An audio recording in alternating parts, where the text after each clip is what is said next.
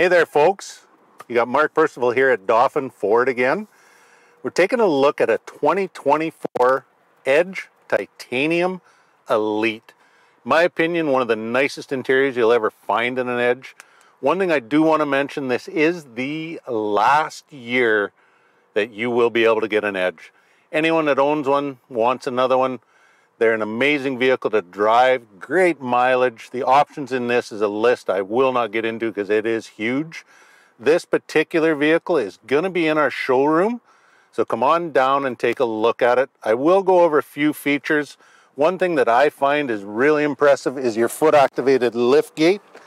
Walking up to this edge with a handful of groceries, you give a swipe with your key in your pocket, drop your groceries in, you're not dumping apples all over the place, stepping on bananas, making a mess. Lots of cargo room. This is just an amazing vehicle.